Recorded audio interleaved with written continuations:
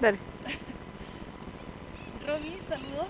Cuando vengas te voy a mandar, te voy a dar un testículo de dinosaurio de mi propia cosecha para que lo lleves a Argentina y los puedas reproducir allá y tener muchas lagartijas gigantes. Te quiero mucho. Ten cuidado con la aduana, eso sí.